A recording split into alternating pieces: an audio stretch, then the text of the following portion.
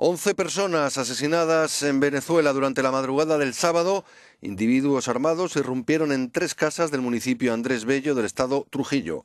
Obligaron a las víctimas a salir de las viviendas y una vez fuera, los agresores les dispararon y luego huyeron en motocicletas.